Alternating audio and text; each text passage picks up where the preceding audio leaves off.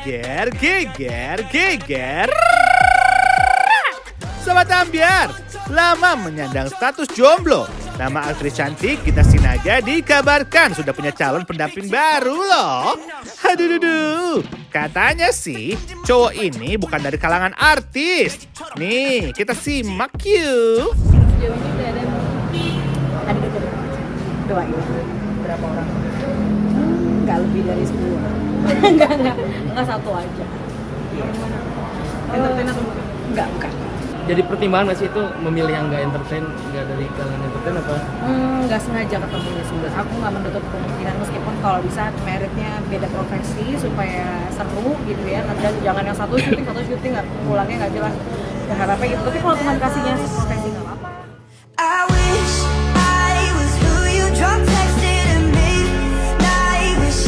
Ampun, akhirnya. Tapi kira-kira siapa sih sosok pendamping itu? Cus ah, kita tanya langsung. Hanya di pagi-pagi ambiar. Geger.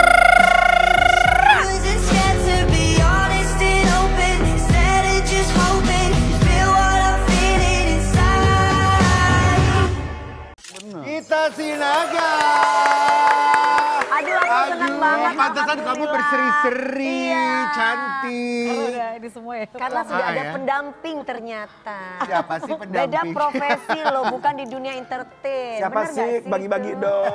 Bagi-bagi orangnya. Ceritanya. Tapi orangnya juga bisa dibagi loh. Ketemunya di mana sayang? Ya, aku asal jawab deh. Em, di mana ya? Enggak, enggak, enggak. Ini memang teman baru tapi dikenalin sama teman. Ah, Dikenalin sama teman. Oh Terus dikenalin sama dikenalin temen itu sama di mana? Di tempat makan kah? Atau mungkin Di lagi mall. syuting dibawa ke lokasi syuting? Enggak, justru. Atau dikenalin oleh Pak Haji Bolot. Iya, Pak Haji Bola maksudnya. Jangan-jangan ini. Oh iya, emang ini pacarku yang baru. ya gitu. Em, waktu itu lagi biasa ketemu sama temen, terus Marcel. habis itu datang temennya temen aku terus dikenalin. Tapi enggak sih, bukan deket deh, kayak itu berteman biasa aja. Kan awalnya temen biasanya di Iya. mana-mana. Temen. Kayak kemarin pas gue ditanya, eh gue sekarang suka gitu ya ditanya, gue asal jawab aja. Kalau percaya, Tapi beneran gue kita, ini ini beneran ini beneran pendamping baru dong. Pendamping Maksudnya baru, kamu dikenalin sama teman. Enggak ada dan- pendamping baru. Bohong ah, masa nggak ada? Ada. Tapi tadi kan statement Gue dikatakan gak tahu deh kenapa sih gampang-gampang buat percaya, udah tau gue suka. Enggak, soalnya kan tadi di situ dia bilang Iya. bahwa beda profesi. Beda ya profesi. kan? kan kan berarti tandanya kan ada seseorang yang ada di hatinya, tapi entah itu jadi atau enggak lah. Beda profesinya itu memang profesinya dia itu apa, Apa sih? profesinya? Kantoran kah, bos kah? Kantoran, kantoran. kantoran. Oh, kantoran. Oh, tapi itu temen aku ya, maksudnya gini, kayak pas gue ditanya ya ada kenalan baru ya ada gitu. Kan Tapi semua berawal dari teman Ah, dulu sayang. Iya benar. Aku- tapi aku masih dengan orang yang lama masih deket juga gitu. Lebih dewasa apa seumur yang sekarang? Lebih, oh beda 2 tahun. Teman barunya ini? Dua tahun lah ya beda ya. Beda 2 tahun, aku kan 18 dia 20. 18. Gak mungkin Gak aja banget. udah gak ketolong ya 18 muka gue gue. sampai kaget 18 gitu loh. Ingin menjerit aku. tapi tapi beneran nggak? Maksudnya dengan perkenalan pertama kamu ada ada ser-serannya. Iya. Ada hati, ada hati beneran buat dia. Dia, dia kita nyambung banget ngobrol ya. Ya.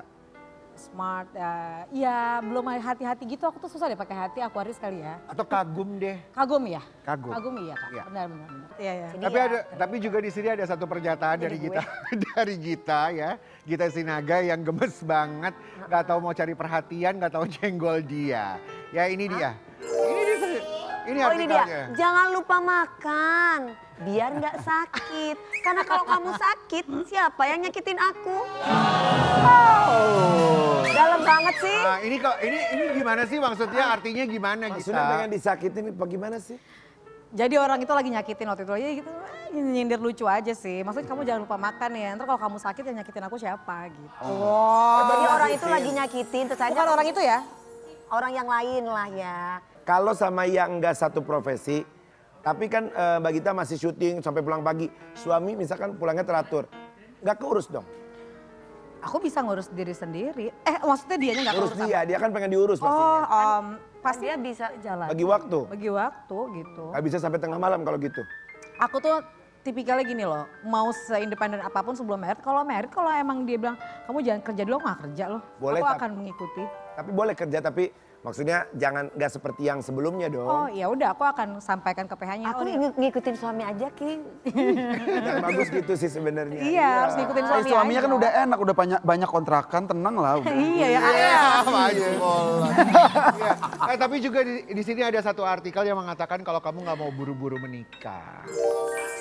Gita Sinaga tak mau buru-buru menikah, alasannya di luar dugaan. Oh, Kunaon, kunaon. Apa itu? Di luar. Apa alasannya? Alasannya karena uh, aku berharap ketika menikah nanti tidak mau ada perceraian, boleh dong. Jadi nggak mau. Aduh, aku jadi nggak enak. Enggak, enggak, enggak, enggak, bukan kak. Aku nggak bermaksud apa-apa. Cuma maksud aku eh, bukan yang kayak menikah itu oh umur sekian, oh tahun ini enggak. Dipatok, nggak Tapi, dilihat umur lah iya, ya. kita harus benar-benar teliti dulu sampai benar-benar yakin. Nggak apa-apa prosesnya lama menurut aku. Itu aja masih mungkin aja cerai kak. Orang tua kamu gimana? Ah, ah. Kalau mama Maksudnya mereka push kamu untuk, eh kamu udah dong gitu. Masa nyari melulu waktunya Ah. kapan untuk nikah? Mungkin karena aku anak tunggal ya, mamaku tuh lebih mengutamakan kebahagiaan aku aja gitu. Nah karena mengutamakan kebahagiaan, pastilah diingetin kalau misalnya lagi lihat apa TikTok atau apa. Ya anak kecil lucu banget deh gitu, ngerti lah maksudnya. Cuman nggak yang "Hai, ayo ayo ayo enggak. Mami aku tuh lebih kayak jangan sampai nanti anak gue single dia bahagia, married dia nggak bahagia. Kayak lebih ke situ sih. Tapi kamu bahagia single? Bahagia, bahagia aja. Kita Ya mudah-mudahan dapat yang terbaik sesuai dengan amin. Eh tapi targetnya kapan kita? Ada target gak? udah lewat target. Kakak kapan mau married? Oh, jangan ke mana-mana. Kita akan tahu jawabannya Kakak Rendelano kapan married setelah yang satu ini. Tetap di pagi-pagi Ambiar.